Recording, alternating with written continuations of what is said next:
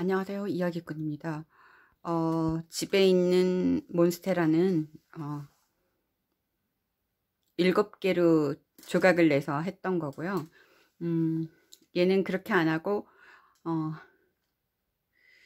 이게 집에서 일로 가져온 건가 숙소에서 일로 가져온 건가 잘 모르겠는데 그때 두 개로 나눴어요. 그러니까 어, 두 개로 나눠서 이 찐잎이 있는 이거는 사무실에 뒀고 어, 나머지는 숙소를 가져갔는데요. 거기에서는 두 군데가 생장점이 생겨서 계속 나오더라고요. 반을 그냥 잘랐던 건데서 아, 하나는 그러니까 음, 기근? 기근 그러니까 공중뿌리가 하나 어, 없었고 하나는 더 갖고 그렇게 됐었는데요.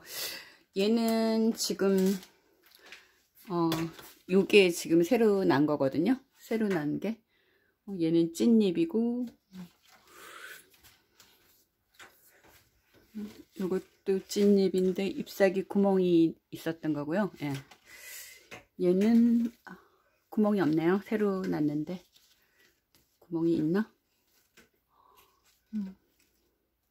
어쨌든 오늘의 할 일은 얘를 분갈이해서 다시 조각을 내려고요.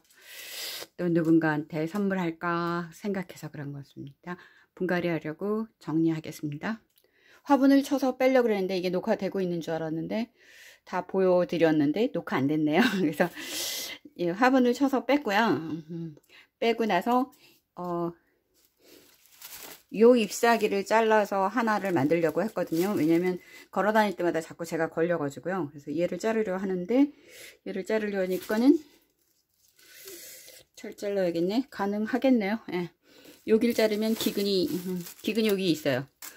요 녀석의 기근은 이거고 요 녀석의 기근은 요거.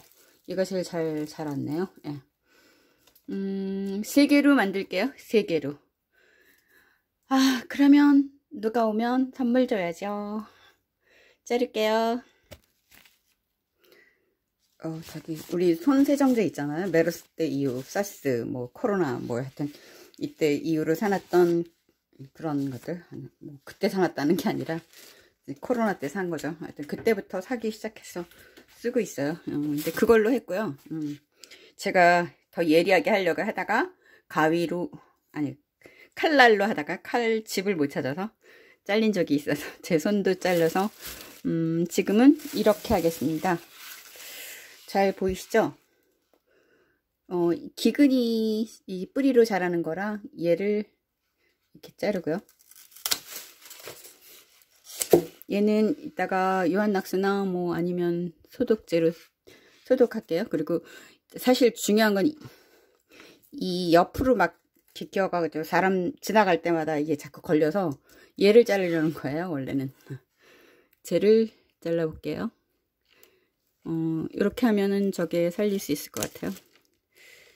근데 잘못하다가 제 잎사귀를 자르겠네요. 조심해야죠. 이렇게 해서 또세 개로 만들어 봅니다 하나씩 심어 놓죠 뭐. 한꺼번에 심죠 뭐. 아 이제 분리가 되려 합니다 예. 이렇게 세 개로 이렇게 그러니까 이렇게 옆으로 자르는 걸 실어서 이렇게 똑바로 이렇게 다 심겠습니다. 정리해서 심을게요. 분갈이는 다 아시죠? 음, 기근이 다 각각 하나씩 있으니까 세 개로 만들었습니다. 아, 사무실에 어, 몬스테라 키우는 게 좋다고 유튜브 방송에 보니까 그렇더라고요. 그래서 음, 선물로 줘야죠. 근데 바로 주면 죽일 수 있으니까 좀 키워서 줘야 돼요. 하여튼 어, 두 개로 잘랐던 걸 다시 세 개로 어, 두 개로 잘랐던 거에 부분인 거를 어, 자르겠습니다. 자 이런 식으로 똑바로 키우겠습니다. 감사합니다.